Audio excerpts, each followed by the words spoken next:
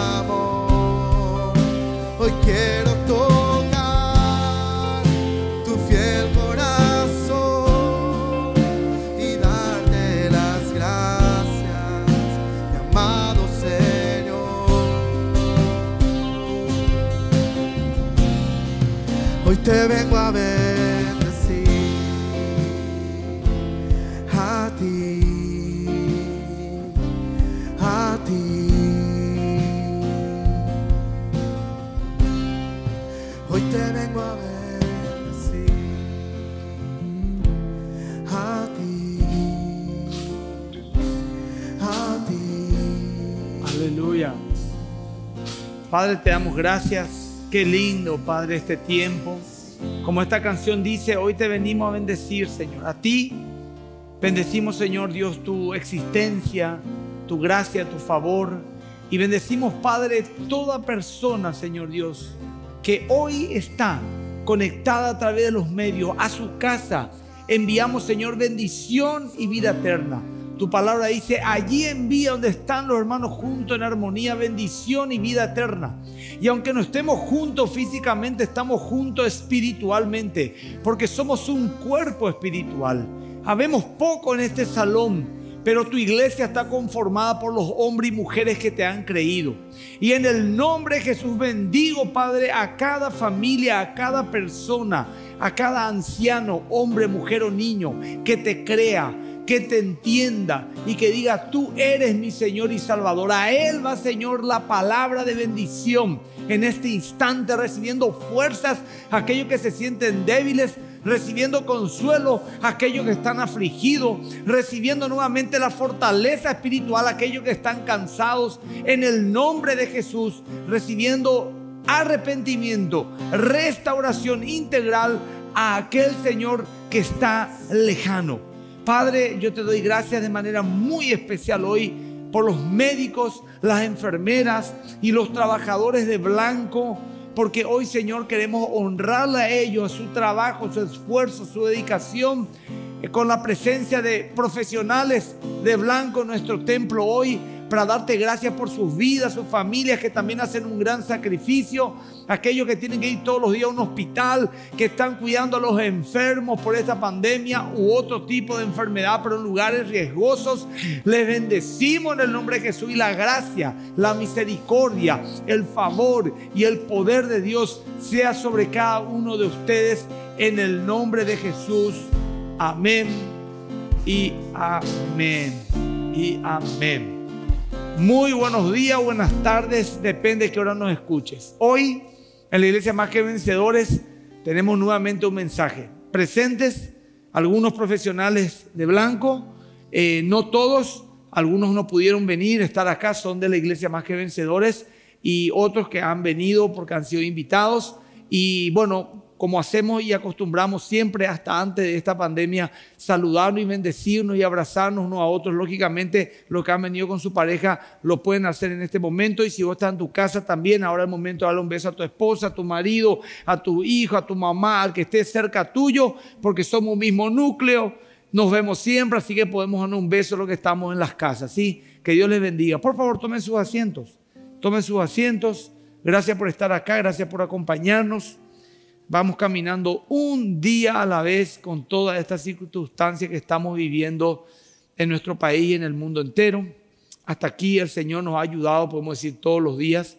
Porque antes como parecía que teníamos el control de todo, teníamos planes, yo a viajar, enero, diciembre, eh, mi trabajo, mis planes, mi estudio, mi posgrado, mi trabajo, mi emprendimiento, pero hoy todo eso eh, quedó eh, en una incertidumbre total y como que por fin estamos entendiendo eh, la palabra ebenecer, que significa hasta aquí el Señor nos ha ayudado. O las palabras del Señor Jesús dijo, preocúpense por cada día, porque cada día traerá su propio afán.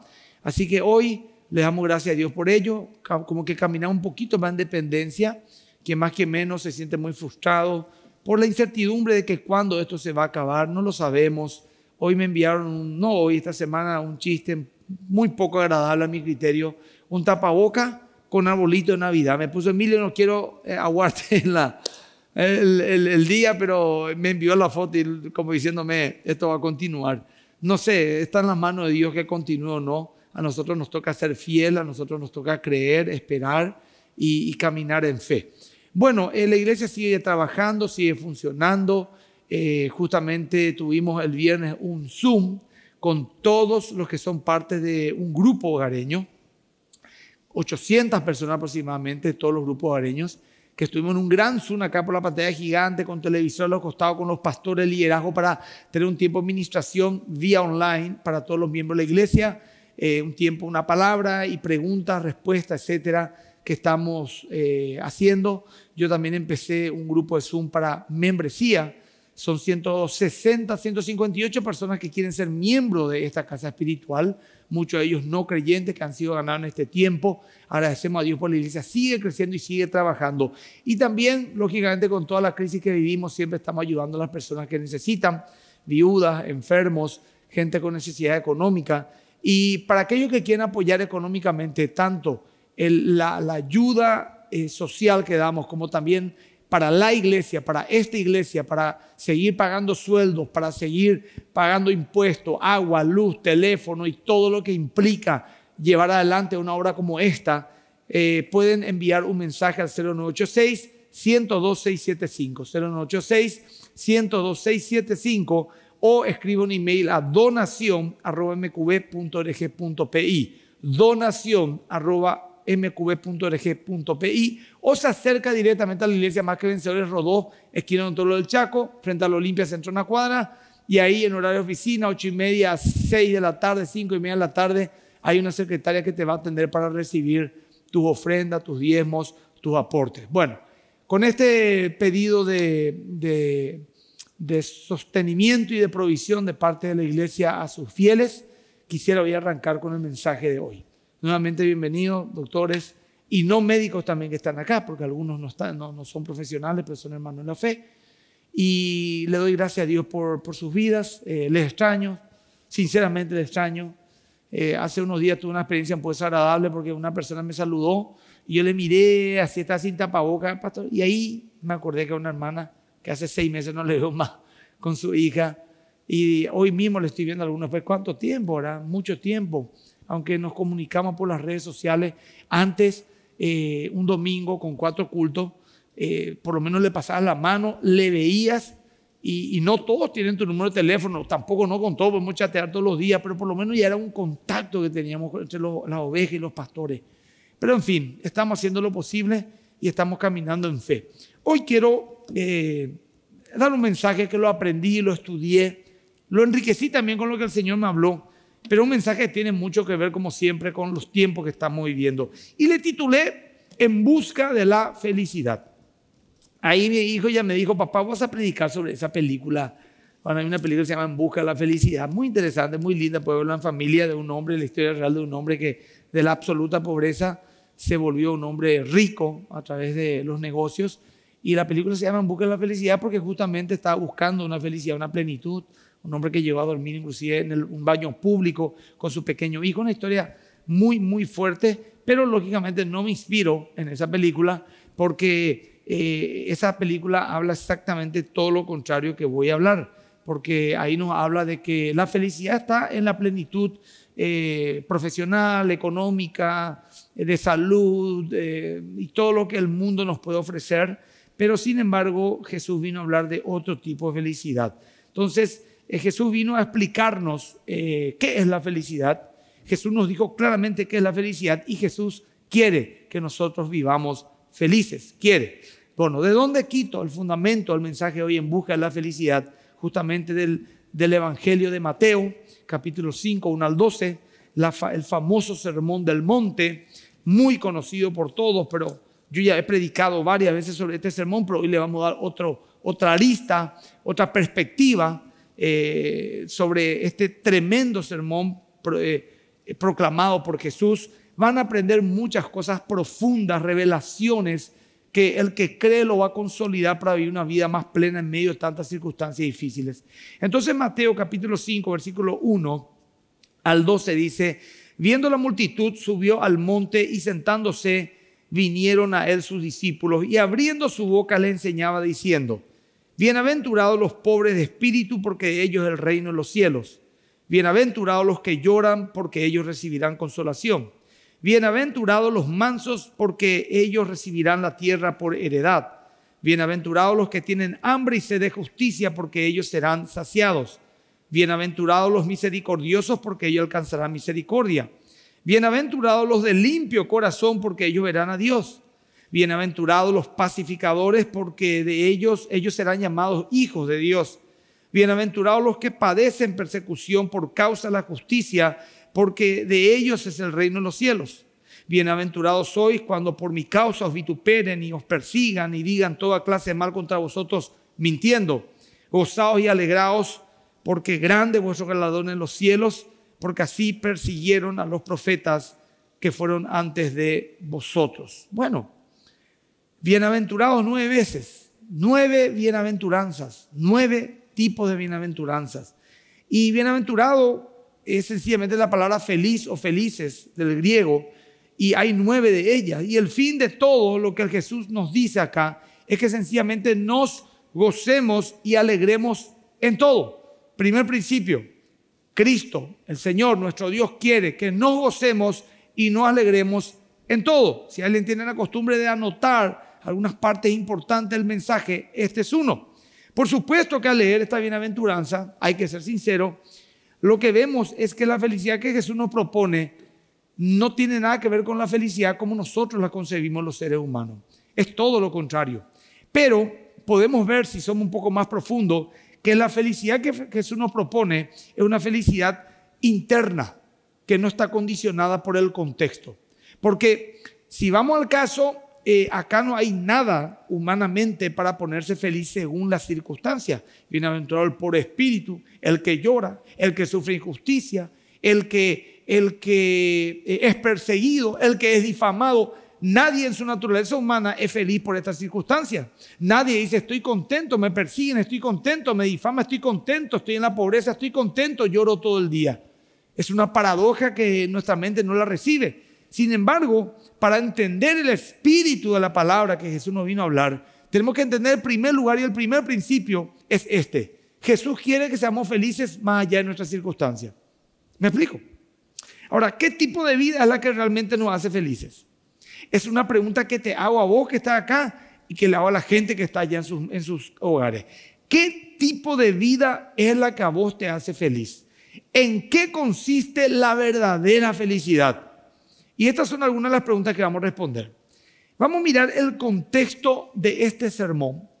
Mateo 5, 6, 7, el sermón completo. Pero solamente este pasaje de la bienaventuranza en tres contextos. Es muy sencillo, es muy didáctico, pero muy práctico lo que voy a enseñar hoy. Vamos a mirar en qué contexto Jesús dice esto, en qué contexto teológico o profético o religioso o bíblico, como quieras llamarlo, en qué contexto político ¿verdad? y en qué contexto religioso en cuanto al pueblo de Israel. Entonces, tres contextos que vamos a analizar para entender eh, eh, eh, esta bienaventuranza. El contexto profético o bíblico, el contexto político y el contexto religioso. Vamos a ir en primer lugar al contexto teológico. El Antiguo Testamento termina en el libro de Malaquías capítulo 4 versículo 6, el último versículo de la Biblia del Antiguo Testamento y dice, Él hará volver el corazón de los padres hacia los hijos y el corazón de los hijos hacia los padres, no sea que yo venga y hiera la tierra con maldición. ¿Cuál es la última palabra con el cual se cierra el libro, eh, perdón, el Antiguo Testamento? Maldición. Con esa palabra cierra. Inclusive, el libro de Génesis, que es el primer libro de la Biblia, termina con la palabra sepulcro. Pero el Antiguo Testamento, lo que los judíos en la época de Jesús conocían como la Biblia, porque todavía no estaba el Nuevo Testamento, termina con una palabra poco alentadora, maldición. Y el Antiguo Testamento termina con esta palabra y las últimas palabras del profeta Malaquía fueron justamente una palabra totalmente contraria a lo que Jesús venía a decir. Era maldición, pero Jesús que decía, bienaventurado o bendición, totalmente lo contrario. Ahora, Jesús arranca este sermón del monte con bendición, con bienaventurado. Y eso ya estaba anunciando un cambio del trato de Dios con la humanidad. Jesús no estaba diciendo, al decirnos su, su primer sermón, por decirlo de esta manera, bienaventurados, o sea, bendecidos, benditos. Y empieza a citar. Algo ha cambiado del trato de Dios con el hombre. La palabra bienaventurado es sencillamente del griego Macarios, Macarios. Inclusive muchos lo tienen como nombre, Macarios, bienaventurado. Y significa feliz. Homero, por ejemplo, Homero era un pensador, era un poeta. Él decía que los dioses griegos eh, eran bienaventurados en sí mismos, en un estado no afectado por el mundo de los hombres, que estaban ellos sujetos a la pobreza, debilidad y muerte. Lo que decía de sus dioses griegos eran que ellos eran bienaventurados en sí mismos, no estaban sujetos al mundo de los hombres, ni en maldición, ni en enfermedad, ni en muerte, las cosas que nos hacen desgraciados o infelices. Y eso es una gran verdad bíblica porque el concepto de Macarios, del griego Macarios, justamente es el concepto de la felicidad más allá de las circunstancias, es la que Jesús nos plantea. La palabra tiene la idea de una bendición, pero como una condición interna del hombre, no externa a él. Ese es el concepto de bienaventuranza. Una paz, un gozo, una plenitud interna que no afecte ni varía las circunstancias que nos pueda tocar vivir lo cual no es fácil, admitámoslo.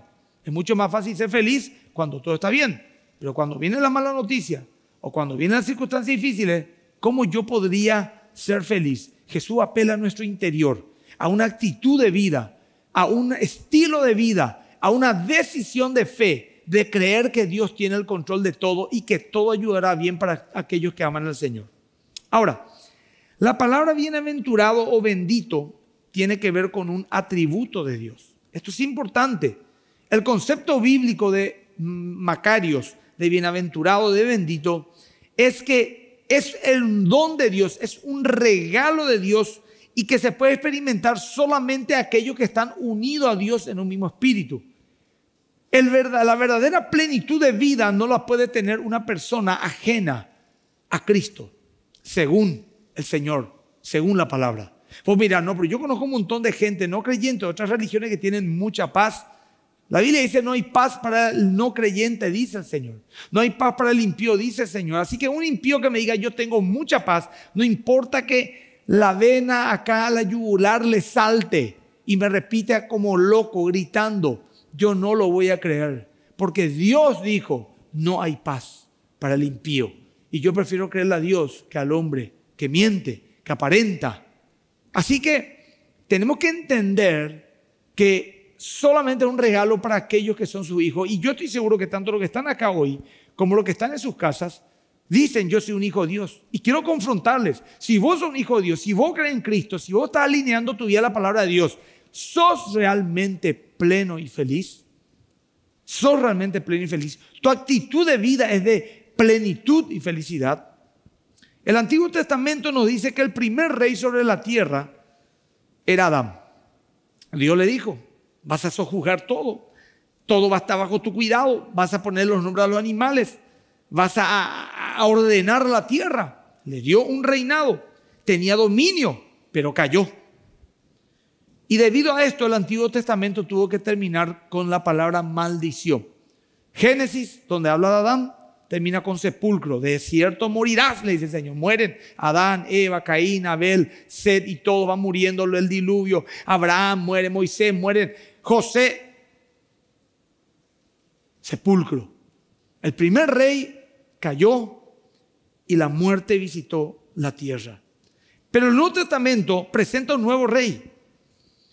Es por eso que el libro de Mateo, que estamos leyendo ahora, donde está el Sermón del Monte, empieza con la genealogía de un rey. Fíjense en su Biblia. Es una genealogía de un rey. Mateo presenta un nuevo rey. Eh, el primer Adán cayó. El segundo Adán, que es mayor que el primero, Cristo, fue un rey que no cayó. El primer Adán o el primer rey cayó y dejó una maldición. El segundo rey permanece y deja una bendición, Cristo. El primer Adán fue probado en perfección en el lugar más pleno del mundo, del universo, en el paraíso, y cayó. El segundo Adán y el segundo rey fue probado en debilidad en un árido desierto y venció. Es un paralelismo total. El primer Adán fracasó en su plenitud, el segundo Adán fue probado en un mundo caído en medio de la soledad y venció. El primer Adán robó. ¿Qué robó Adán? Robó del árbol del bien y del mal. Él le dijo, no comerás, le dijo el Señor, es mío. Y él se fue, usurpó y comió. Entonces el primer Adán, el primer rey, cayó por un robo, robó. El segundo rey y el verdadero rey Cristo agarró un ladrón y lo salvó en la cruz del Calvario y le dijo, hoy estarás conmigo en el paraíso. Adán nos quitó a toditos del paraíso porque robó. Jesús metió a todos en el paraíso, empezando por un ladrón a quien le dijo, hoy estarás conmigo en el paraíso. La sección de la Biblia que arranca contando la historia del primer Adán termina con maldición. Y la segunda sección de la Biblia, el Nuevo Testamento, que empieza con la genealogía de un nuevo rey, Así como Génesis 3 empieza con un rey llamado Adán y su, perdón, Génesis capítulo 2 empieza con un rey llamado Adán. Así también Mateo empieza con otro rey llamado Jesús. Y así como aquel primer rey cayó y la Biblia terminó el Antiguo Testamento de una palabra maldición, así también este un segundo rey que Mateo le presenta como un rey, termina la Biblia en Apocalipsis 22, 22, 21, diciendo, la gracia del Señor Jesucristo sea con vosotros. Amén. Por un lado maldición, por otro lado gracia. El Antiguo Testamento nos da la ley. ¿Para qué? Para producir convicción de pecado, para condenarnos, porque si no hay ley, no hay condenación. ¿Qué significa esto? Si, por ejemplo, hay una ley que, por ejemplo, hoy, por decirte, hoy no es un delito, voy a, voy a poner un ejemplo muy, muy tonto, pero, pero van a entender. Hoy no es un delito, por ejemplo, caminar de la mano con tu esposa por la calle. Pero si mañana sale una ley totalmente loca y arbitraria de que es un delito, cuando vos le tomes la mano a tu esposa en la calle, vas a estar cometiendo un delito. Significa que la ley hizo que ese algo sea un delito. Entonces, siempre hubo pecado, pero la ley lo que hizo es señalar nuestro pecado y condenarnos, porque ahora ya no teníamos excusa. La ley decía, no matarás y yo mato. La ley dice, no mentirás y yo miento. La ley dice, no codiciarás y yo codicio. Entonces la ley del Antiguo Testamento nos condena, trae miseria. El Nuevo Testamento trae gracia y nos compara con una bendición. El Nuevo Testamento arranca mostrándonos el nuevo rey y sus promesas que arranca con bienaventuranzas y puede revertir la maldición del primer rey Adán. Romanos 5, 2 al 15, miren lo que dice. Romanos 5, 2 al 15. Dice el Señor, por tanto, como el pecado entró en el mundo por un hombre y por el pecado la muerte, así la muerte pasó a todos los hombres por cuanto todos pecaron. Está hablando de Adán. Pues antes de la ley había pecado en el mundo, pero no donde no hay ley no se inculpa pecado, es lo que acabo de explicar. No obstante, reinó la muerte desde Adán hasta Moisés, aún en los que no pecaron a la manera de la transgresión de Adán, el cual es figura del que había de venir, de Cristo. Adán es una figura. Pero el don, el regalo, no fue como la transgresión, el error de Adán.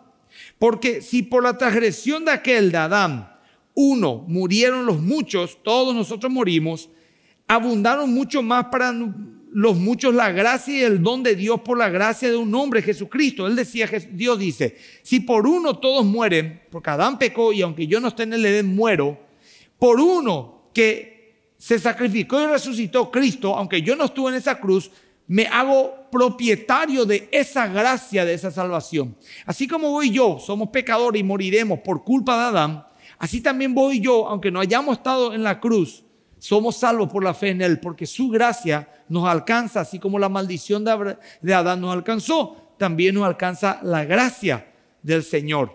Y dice, y con el don no sucede como en el caso de aquel uno que pecó, porque ciertamente el juicio vino a causa de un solo pecado para condenación, el, árbol del fruto que él comió. Pero el don, el regalo de la gracia, vino a causa de muchas transgresiones para justificación. Ese es otro punto teológico que no viene al caso, pero lo que quiero explicarte es que así como Adán, al fallar, su maldición no alcanzó a todos, Jesús, al obedecer y tener victoria, su bendición tiene que alcanzarte hoy a mí también.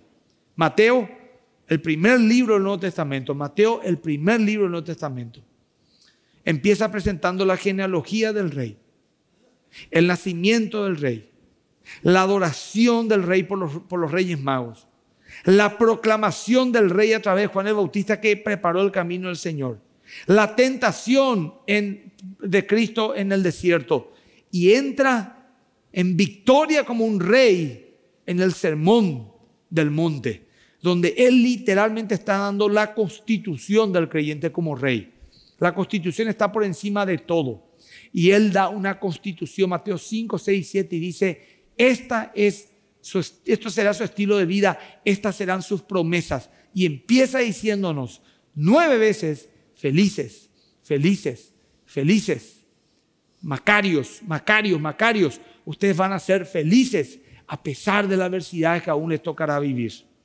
Y la felicidad que propone el rey Jesús está enfocado en quienes, miren, en los pobres, en los que lloran, en los mansos, en los que sufren injusticia, en los misericordiosos, de los de limpio corazón, en los pacificadores, los perseguidos y los difamados. Esto, para la óptica humana, no tiene nada de bienaventurado, ni tiene nada que ver con la felicidad ni con la virtud. ¿Quién ve como una virtud ser pacificador? ¿Quién ve como una virtud ser manso? Acá el que, el que, el que no llora no mama. El manso no corre. ¿Quién ve como una virtud ser difamado y perseguido? ¿Quién puede ver eso? Nadie. Esto es como si Jesús se metió en el supermercado de la vida y cambió todos los precios. Dio vuelta. cambió todos los precios del supermercado de la vida.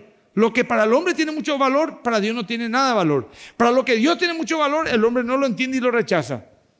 Hay una contraposición total. La felicidad, ¿qué es? A ver si nos ponemos de acuerdo. Es tener. La felicidad es poder. La felicidad es, obtener todo lo que yo quiero. Es placer. Es falta de preocupación. Es abundancia. Es, la ausencia de problemas. Eh, la felicidad es... ¿Quiénes son felices? Los ricos. Felices son los nobles. Felices son los famosos. Eh, la gente linda que fue agraciada con un lindo rostro, un buen cuerpo. Eh, felices son los sanos. Eh, felices los que disfrutan los placeres de la vida. Pero aunque podríamos encontrar una lógica en todas estas cosas, eh, lo cierto que vemos la realidad. Y la realidad es que lo que tienen todas estas cosas, aún así, parecen no llegar a la plenitud. Vemos artistas súper, súper lindos que se meten en las drogas, gente súper famosa que vive de matrimonio y matrimonio buscando algo que no le llena. Gente súper noble como el príncipe Harris y su esposa que demiten del reinado de, más poderoso del mundo, Inglaterra, para ir a vivir casi anónimamente en Canadá. si fuese tan glorioso vivir en ese mundo, ¿por qué tantos salen de ahí, verdad? Y eh, eh, yo creo que incluso estas cosas causan tanto vacío como las que llena. Vamos a suponer que vos decís, yo quiero ser rico. Perfecto. Sos rico, tenés muchos placeres, sí. Tenés dinero, tenés tu yate, tenés tu casa, pero ya tenés que andar como la espalda. Tenés que estar, vas a tener mucho enemigo. Vas a tener mucha presión. Todo el mundo te va a venir a pedir plata y el que no le da te va a hablar mal de vos. Te van a traicionar y vas a tener que vivir grande encerrado. No vas a poder caminar normalmente como porque ni un rico camina normalmente por la calle. Eh, no importa que viva en los Estados Unidos, no, no importa o en Europa. Eh, sí, cierto, hay un placer en tener, pero hay que admitir que también esas cosas añaden también muchas eh, ansiedades, falencias y problemas. Ahora, voy a poner un equilibrio en esto después, porque quiero irme al punto. El mensaje de las bienaventuranzas derriba todo argumento y lógica humana. Por lo que dije, el que llora, el manso, el que es perseguido, nada que ver, pero el rico, el poderoso, el noble, el lindo, el sano, el popular, el que tiene placer. Claro, pero, me dio toda la vuelta. No tiene sentido. Entonces Séneca, por ejemplo, Séneca, el filósofo, decía que solo un necio, escuchen lo que dijo este hombre, solo un necio puede pensar que se llena un vacío interior con cosas externas. Es cierto, es profundo. Pero el ser humano justamente hace eso. Quiere llenar su vacío interior con cosas externas. Algo así como, por ejemplo, escucha, estoy depre, me voy al shopping a comprar ropa. Estoy triste, me voy a Cancún.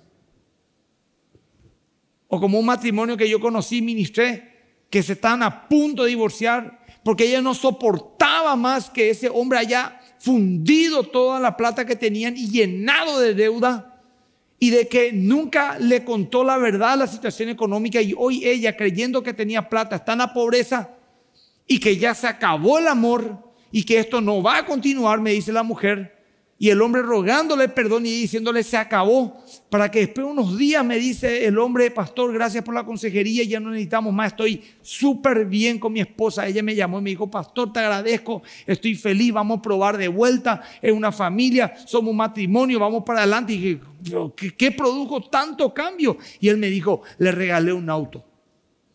Compré a cinco años cuota y vamos a ir a Cancún de luna de miel por segunda vez.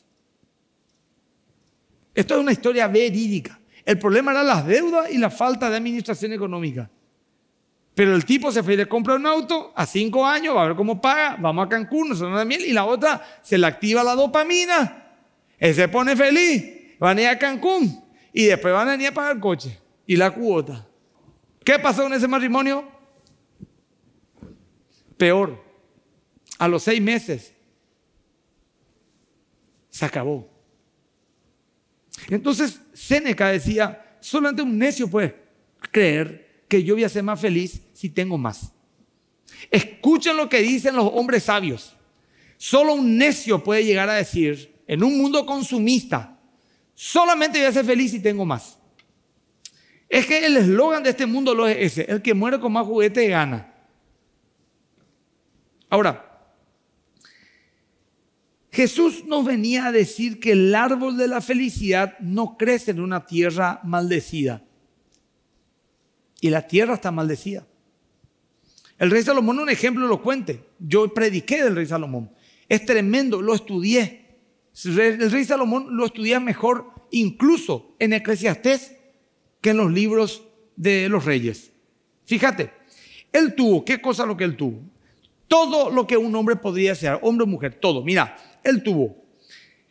Fue poderoso, fue inteligente, fue sabio, fue rico, fue famoso, fue admirado, fue aclamado, disfrutó de todos los placeres carnales, sexo, buen vino, comidas, la más exquisita. Su vida era el reflejo de todo aquello que una persona podría decir en este mundo. Si yo tengo eso, no tendré motivos para ser infeliz. Sin embargo, el libro Eclesiastés nos habla del vacío que él sufrió.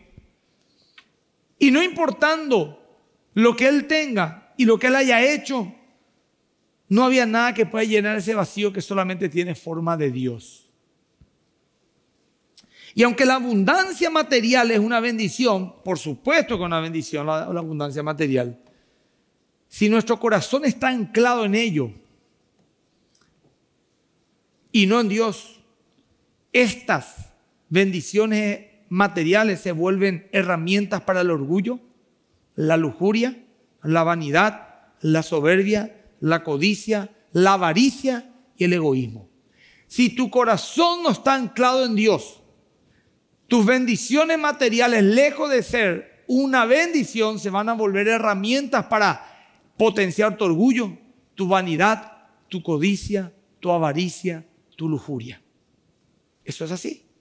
Es más, Thomas Watson, un, un predicador puritano, decía que las riquezas del mundo pueden obtener, pueden detener las riquezas del mundo. Miren la gráfica que usa Thomas Watson. Las riquezas del mundo pueden detener la infelicidad tanto como un papel detiene la bala. ¿Qué probabilidades hay de que un papel detenga una bala? Ni una. Las riquezas del mundo tienen esa misma fuerza que un papel ante las balas de la vida. Pero puso otro ejemplo, que la felicidad sin Dios en este mundo son como aves que están en tu jardín. La mirás, la admirás, te querés acercar a ella y vuelan. Y eso de hecho dice eso el libro de Proverbios, se empodrán alas a la riqueza y se irán. Así es. Así es. Necesitamos al plano en algo más sólido si queremos tener plenitud en este mundo tan difícil. Necesitamos. Yo siempre me pregunto eso. Y muchas veces las cosas externas eh, añaden al alma más aflicción que consuelo. De hecho, Eclesiastés 5.3 dice, las riquezas son guardadas para el mal de sus dueños. Dice. No hay satisfacción en lo que el mundo ofrece. Cuando Jesús nos habla de felicidad, no nos ofrece nada que el mundo nos ofrece, fíjense. Sin embargo, hay un ejército de predicadores que hoy quieren anclar la felicidad de los hijos de Dios en las cosas del mundo. Tu auto, tu casa, tu riqueza, tu esto. Exactamente lo contrario de lo que Jesús hizo. Jesús dijo, las riquezas materiales son una bendición, no hay duda. Pero tu ancla está en tu corazón, en el interior, más allá de las circunstancias. Pero ¿qué dicen ahora mismo algunos predicadores de la prosperidad? Que justamente tu bendición está en tener riquezas y en disfrutar tus riquezas. Arrebátalas. Pídela a Dios, exígela. Se enfocan en el dinero, el éxito, el reconocimiento. Y eso exactamente al revés de este sermón, hasta donde yo veo. Repito, no está mal tener, Claro que queremos tener, todo queremos tener. Es una bendición tener. El problema de todo está en, en, tenerla sin Dios, sin el ancla de Dios. Eso exactamente es lo que produce una pérdida en nuestra alma. Ese es el contexto teológico. Ahora, ¿cuál fue el contexto político-cultural? Miren qué interesante decir eso en aquella época. Que Jesús venga a decir, bienaventurados los, los, los pobres espíritus, los perseguidos, los que lloran. ¿Cómo era el mundo judío en ese tiempo? Estaba, estaban esperando el Mesías esa gente. Que los libre de la esclavitud de Roma, que no es de ninguna manera algo que nadie en este país pueda compararse. Estamos hablando de los impuestos 70%, todo para Roma. Estamos hablando que un soldado romano podía pasar, darte una oferta y decirte, agarre mi, bolsa y lléveme un kilómetro. O podía a lo mejor tal vez violar a tu hija y vos no podías decirle nada. O tocarle a tu mujer y matarte y crucificarte. ¿Qué gobierno, por lo menos vamos a decir en América Latina, Europa, Occidente, hace eso? No hay. Nos quejamos los impuestos, la corrupción, lo cual está muy bien que nos quejemos de la corrupción, pero los gobernantes que hoy tenemos de ninguna manera se comparan a lo que eran los gobernantes romanos. Cárceles sin juicio. Era una esclavitud verdadera. En ese contexto, ellos esperaban qué cosa, y hasta hoy día, un Mesías guerrero, político, un Mesías que le dé todo lo que ellos anhelaban, riqueza, comida, libertad, poder, gobierno. ¿Qué te ofrecen los gobernantes del, mundo? Y entiendo que te dicen, vamos a salir de la crisis económica. Votamos a mí, la seguridad va a venir. Si votan, nuestro equipo está preparado para quitar adelante este país. Somos los aptos para eliminar esta crisis. ¿Quién quiere votar por un gobernante que diga, miren gente, no les prometemos nada. Vamos a trabajar, vamos a esforzarnos, pero les pedimos que se sigan ajustando 10 años más los cinturones. Les pedimos que por favor eh, lleguen a su casa más tarde a las 8 y cierren porque el tema de la seguridad no va a cambiar. Ese no va a tener ni un voto. Ubiquémonos en un contexto político. Los judíos no eran distintos a nosotros. Y peor aún, porque ellos se sentían el pueblo superior, el pueblo elegido de Dios, sojuzgado por un pueblo lleno de ídolos. ¿Dónde está tu Dios? Le decían, se burlaban. Y ellos decían a la vez, Señor, cierto, ¿dónde vos estás? Jesús tenía muchas cualidades para hacer lo que ellos querían que Él sea, un líder militar, político y guerrero. Pero Jesús no dio énfasis en lo que los hombres pudieran hacer, sino lo que son. Él dijo, no se trata de lo que puedas lograr, se trata de lo que vos sos. Porque hay hombres que tienen muchas capacidades de lograr cosas. Yo admiro a tantos hombres que tienen un liderazgo tan fuerte, una visión, una inteligencia, una capacidad, administran presiones tremendas, van contra todo, logran su objetivo. Hablo de políticos, empresarios, deportistas, gente que podemos admirar. Están en la palestra. Pero no importa todo lo que vos logres, Jesús decía. Vladimir Putin, Donald Trump, eh, Macron, no sé, a los gobernantes de la tierra, reina Isabel, todo bien con lo que lograste, pero no se trata de eso, se trata de lo que vos sos, no de lo que tenés. No se trata de tener, o no se trata de hacer, sino de ser, porque lo que son determinará lo que harán. Y cuando Jesús dijo que su reino no era de este mundo, nos muestra que él no estaba enfocado en cambiar políticamente al mundo. ¿Qué significa esto? Yo no estoy diciendo un creyente no se meta en la política. Si tiene la vocación política, que lo haga y haga la diferencia y sea sal y luz. Sal es refrenar la podredumbre y luz es iluminar al mundo pero que no crea que su liderazgo político va a cambiar el corazón del hombre. Cumple una función periférica, pero no, de ninguna manera va a cambiar el corazón del hombre o va a cambiar este mundo. La revolución es interior, decía Jesús. Vengo a cambiar los corazones. Es notable ver que las personas más exaltadas por Cristo y es de la más baja según el criterio del mundo. ¿A quién? Nadie dice, che, loco, viste aquel barrendeo la esquina, brother, ese es lo más, así tenemos que ser. Nadie dice, che, viste aquel pobre eh, albañil que, que trabaja forzadamente bajo el sol y vive allá en las periferias, en un barrio difícil, lleno de baldíos. ¡Qué loco! No. ¿A quién la admiramos? Te voy a decir quién la miramos, al rico, al poderoso, al famoso. Y esta sociedad tan degradada y admira hasta a los narcos.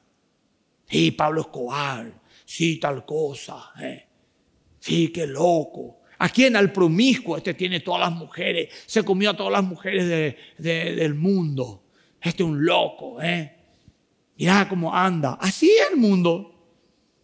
Pero Jesús vino y la admiró a quién? A Juan el Bautista. Y dijo, ningún hombre en este mundo que haya nacido una mujer, todos, fue mayor que este. ¿Y quién era Juan el Bautista?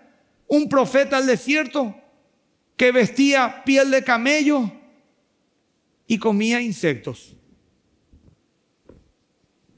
No tenemos mucho que admirar de un hombre así, humanamente hablando. Eh, a, presentarle a Juan el Bautista, así como te describí recién en Hollywood, en la realeza europea, entre los 500 más ricos del mundo. Es más, atender el desafío que te hago, presentate a vos en Hollywood como un paraguayito latinoamericano que gana mil dólares al mes. Presentate a vos entre los ingleses.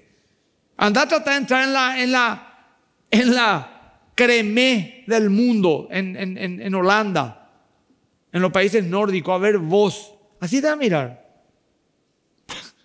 No existía. Es más, si ellos vienen a vivir tu vida, un mes se suicidan. Si ellos vienen a vivir en tu casa, en tu barrio, en tu país, ganando tu sueldo, aunque sea 10 mil dólares al mes, se matan.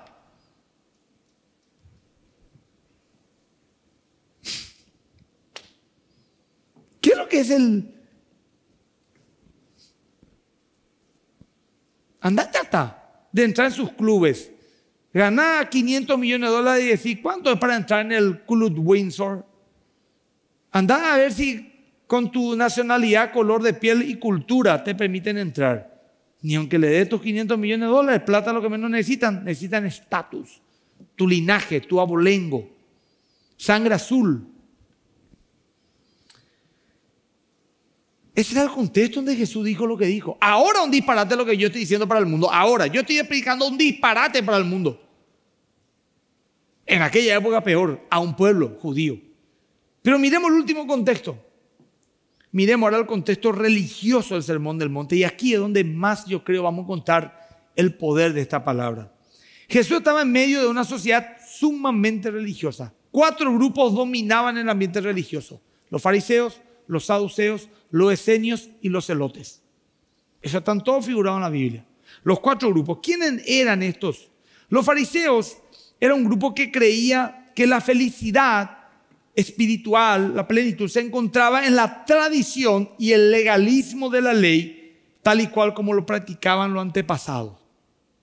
Ellos estaban enfocados, decían, la felicidad, el ritualismo, la ley y el pasado. Y lo defendían. Luego están los saduceos, que creían en qué? Ellos creían que la felicidad tenía más que ver con lo racional. Ellos, por ejemplo, creían en Dios, pero no creían en la vida después de la muerte. Creían en una religión liberal, adaptada a los nuevos tiempos, acomodada a las nuevas realidades. Muchos dirían, wow, es cierto, pastor, eso es lo que el mundo quiere hoy. Claro, queremos una religión elíptica, una religión abierta, ser inclusivos dirían. Hoy los saduceos serían aquellos que van a ser los cristianos inclusivos. Van a eh, adaptar de todo. Todos los caminos nos llevan al cielo. Luego estaban los esenios. Y los esenios decían, no, la felicidad está en apartarse del pecado y del mundo. Y ellos creían que el apartarse del pecado del mundo tenía que ver con un lugar geográfico. Entonces, ¿qué se había? Salían al desierto. Y ahí vivían en comunidades puritanas, por decirlo de alguna manera, como en un claustro, pero en el desierto, con sencillez, sus rituales, tenían sus hijos, estudiaban la religión, pero ellos decían la felicidad está en salir. Los celotes no, los celotes era al revés. La felicidad está en entrar. Los celotes eran un grupo religioso político, querían una teocracia. Hay que eliminar el imperio romano. Tenían una daga y cuando venía un romano y tenía una oportunidad le degollaban. Entonces vemos que los fariseos decían la felicidad está en el pasado, los saduceos decían la felicidad está en el presente, los esenios decían la felicidad está afuera y los celotes decían la felicidad está adentro. Y aunque ustedes no crean, las cuatro visiones tienen un grado de verdad. Por un lado, siempre es importante guardar lo bueno del pasado, aferrarnos a los mandamientos de Dios, pero también está bueno que no nos aferramos tanto a tradiciones que hoy ya no sirven para nada y acomodarnos a los nuevos tiempos sin pervertir la palabra. También es cierto que el Señor nos pide que salgamos del mundo, por un lado, no nos contaminemos el mundo, pero por otro lado nos dice entrar a Él y ser la sal y luz del mundo. Entonces los fariseos dicen, vamos hacia atrás, los saduceos vamos hacia adelante, los escénicos decían, salgamos, los salotes entremos, y todo esto tenían ciertas verdades, pero por un lado tenemos que mirar los antiguos caminos, anclaron en el pasado. Tenemos que adaptarnos al presente, mirar el futuro sin comprometer nuestros principios. Por un lado, estamos llamados a salir del mundo, por otro lado, estamos a entrar en él y ser sal y luz. Pero a la vez Jesús les recriminó a ellos y les dijo a los fariseos que la religión no solo se trataba de rituales externos. Hoy, ¿cuántos hay católicos y evangélicos que te dicen yo soy católico? Porque se va a la misa de vez en cuando y no conoce ni un versículo bíblico. ¿Cuántos hay que dicen yo soy evangélico y vivo una vida absolutamente mundana, pero se suele ir a una iglesia?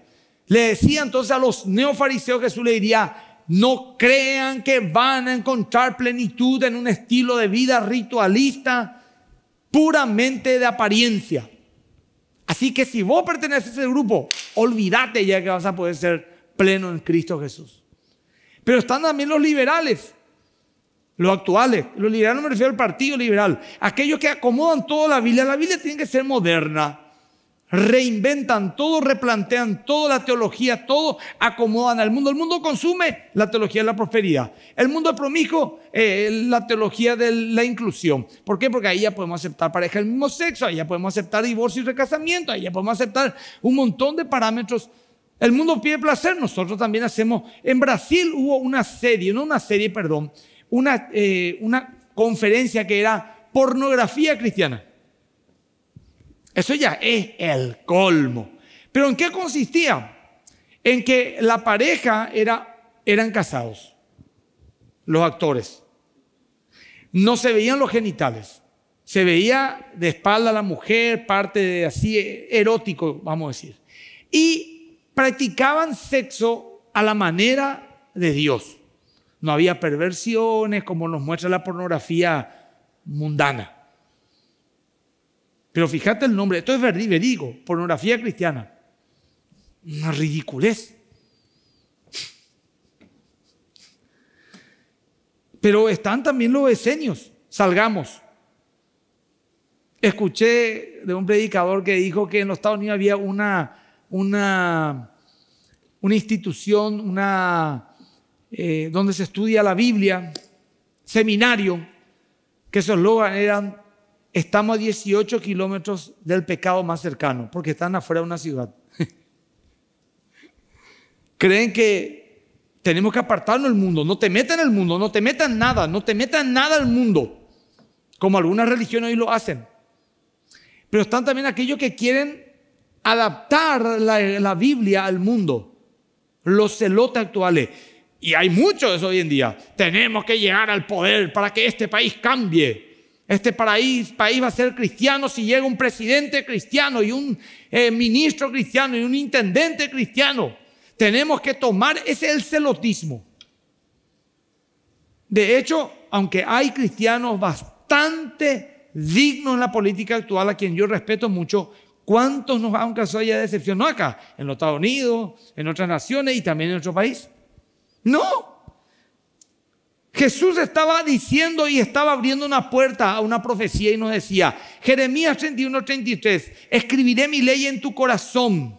El Salmo 24, 4 dice, estará en su presencia el de limpio corazón, el de puro corazón. El Salmo 119, 11, en mi corazón he guardado tus dichos para no pecar contra ti. En Proverbios 4, 23, sobre toda cosa guardada, guarda tu corazón porque ella mana la vida. En Mateo 5, 8, bienaventurados los de limpio corazón porque ellos verán a Dios. En Colosenses 3, 23, todo lo que hagáis, hacerlo de corazón. Y la misma salvación que dice en Romanos 10, 10, si creyeres de corazón que Dios le levantó a los muertos a Jesús, nos alienta como Hebreos 3:8. Si oyeres hoy su voz, no endurezcáis vuestro corazón. Mientras preparé esta prédica y aprendí, escuché, yo me preguntaba, le dije a mi esposa, yo, 49 años cumplo en unos días más. Soy pastor hace 20. ¿Puedo, puedo decir soy, o sea, no significa vivir en una, una nebulosa, ¿verdad? No. Nos preocupamos, tenemos ansiedad, como cualquier ser humano, pero yo realmente tengo anclado mi corazón en Cristo y gente, el Señor me abrió hacia una cortina donde me mostró a una profundidad a la cual yo tengo que llegar y aún no llegué. Yo quiero que nos analicemos. Jesús dijo a los fariseos, a los saduceos, a los deseños, a los celotas, a los religiosos, a menos que tu justicia no sobrepase la justicia de Dios, a menos que tu justicia no sobrepase la justicia ritualista para la vista, el exterior, no entrarás en el reino de los cielos. No se trata de hacer o parecer, sino de ser. Yo quisiera que oremos ahora y que reflexionemos si realmente vivimos esa plenitud que Dios nos llamó a vivir. Al salir de aquí, ustedes, y al apagar el televisor, los que están allá en su computadora, van a encontrarse con la realidad. Su marido a lo mejor va a ser el mismo argel de siempre o su esposa. Van a seguir con la misma situación económica. A lo mejor no se van a curar si estaban enfermos al empezar a ver la charla, al terminar van a seguir enfermos. Tu crisis de ansiedad a lo mejor puede que pase, no, no sé, pero no se va a ir todavía este, esta plaga por mucho tiempo más lastimosamente. Y no es falta de fe, es realismo. Tu realidad no va a cambiar, pero yo no hablé de eso. Tu corazón puede cambiar. Y tenés que llevar esto. Tenés que llevar realmente. Yo estoy en mi corazón. Macarios, bienaventurado, es un don de Dios.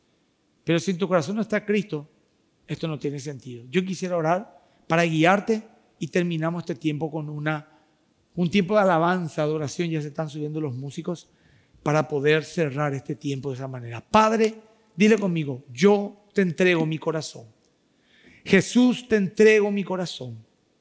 Te pido perdón de mis pecados y mi rebeldía. Te pido perdón de mi autosuficiencia. Y pido, Padre Santo, en el nombre de Jesús, que tú seas mi Señor y Salvador. Creo que tú resucitaste los muertos a Jesús. Y creo, Señor Dios, que tú eres mi Señor. Renuncia a Satanás, renuncia a lo efímero, renuncia a lo trivial y recibo tu Espíritu Santo que me lleve a toda verdad. En el nombre de Jesús. Amén y amén.